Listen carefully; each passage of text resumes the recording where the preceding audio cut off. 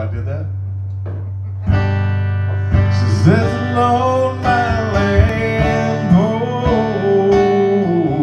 yeah, just trying to find the thought that's escaping my.